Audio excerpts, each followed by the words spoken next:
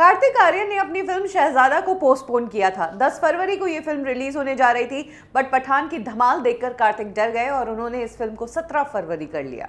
अब पोस्टपोन करने का भी फ़ायदा कार्तिक को नहीं मिलने वाला है, क्योंकि पठान ने तैयारी कर दी है कार्तिक की फ़िल्म की बैंड बजाने की। पठान फ़िल्म ने ऐसा कुछ किया है जिससे कह सकते हैं कि कार्तिक आर्यन पर पठान इस बार भी भारी पड़ेगी।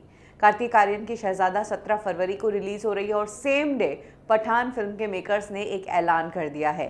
इस फ्राइडे को पठान डे घोषित कर दिया है और सिलेक्टेड सिनेमाज में इस फ़िल्म को एक सौ की टिकट में दिखाया जाएगा। यानी कि टिकट की रेट्स में भारी डिस्काउंट दे दिया है। इधर कार्तिक आर्यन पहले दिन फ़िल्म रिलीज़ करेंगे।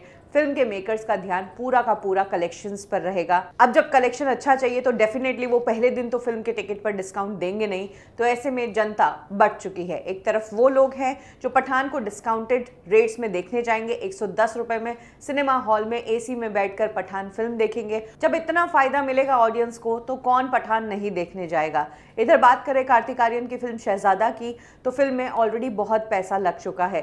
फ़िल्म को सिर्फ़ यूट्यूब पर रिलीज़ होने से रोकने के लिए टी सीरीज़ और कार्तिक आर्यन को आठ करोड़ रुपए देने पड़े हैं। ये फ़िल्म ऑलरेडी एक रीमेक है, यानी कि फ़िल्म की कहानी सबको पता है कि क्या होगा फ़िल्म का अंत।